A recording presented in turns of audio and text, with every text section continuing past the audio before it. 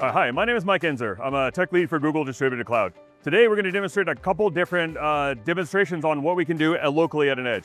As you can see here, we have our cluster. Uh, operations are all happening right here. None of this is going to the cloud.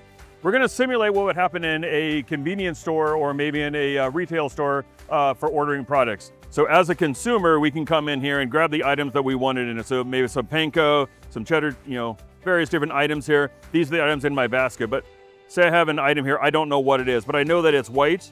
So I'm just gonna use real basic uh, uh, text search or, or uh, uh human language searching for it.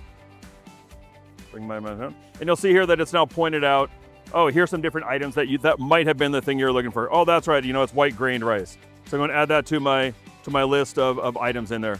Now when I hit pay, it's gonna prompt me with a, I know what's in your basket, and I'm gonna recommend, you know, let's grab some of this, right? I've got an extra item. I'm gonna go ahead and complete my payment. Now what's really cool is when I come down to my payment here, uh, not only do I see the items, but I also see a QR code that goes back to a recipe that I can now go create the item that I, I uh, uh, purchased for. So that's great from the consumer side, but now to say I'm an assistant who works at the, uh, uh, at the store.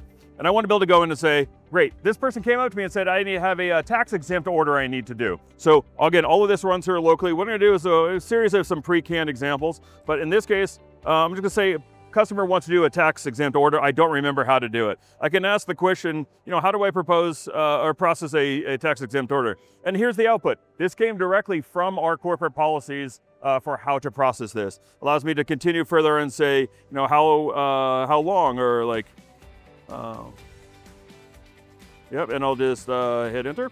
And it's uh, able to uh, continue to keep processing uh, and, and, providing me a chatbot uh, options here. Again, all of this is done here locally. None of that went to the cloud. The LLMs are running are processed all here on premise. Uh, and then we were able to train a lot of the data up in the cloud and pull those vectors down and run them locally. So now if we lose internet, we're able to still continue to operate, manage, maintain, and not lose transactions. Thank you.